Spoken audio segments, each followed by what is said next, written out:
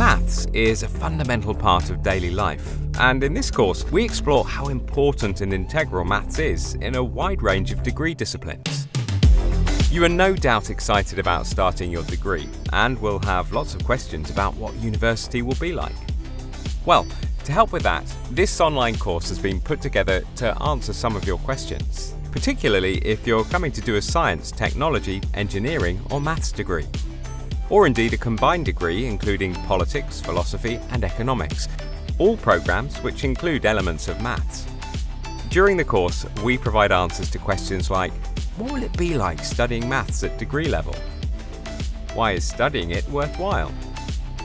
And how is maths used in real-life applications in different subjects? We've also included practical guidance from academics and advice from students who have gone through these programs before you. Listening to them should help you see that the maths elements of your degree may be challenging, which part of a degree isn't, but they're also really valuable for you and your future career. We sincerely hope that you enjoy this course, find the information useful and practical, and that you take the time to engage in the opportunities to discuss the ideas. Have fun, and we look forward to seeing you soon.